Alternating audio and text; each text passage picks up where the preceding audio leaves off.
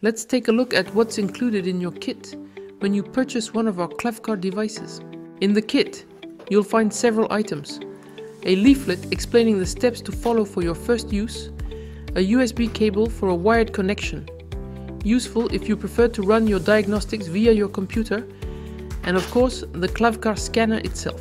This is the model 210, which supports both Bluetooth and USB. Let's now follow the steps shown in the leaflet to install the EOBD Facile app on your smartphone.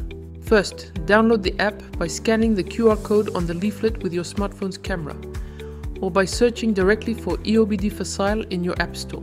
Next, let's find the location of your vehicle's OBD port.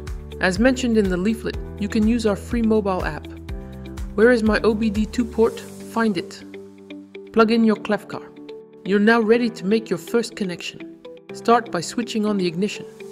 Then launch the app and establish the first Bluetooth connection. Select your klavkarr, here, the 210 model.